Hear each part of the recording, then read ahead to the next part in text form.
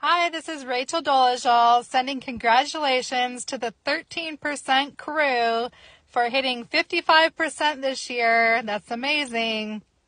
When 13% of the company does 55% of the work, you deserve recognition. But truth be told, it's really more like 6% getting it done. So you know who you are. Congratulations on your success. And this message is from your regional manager.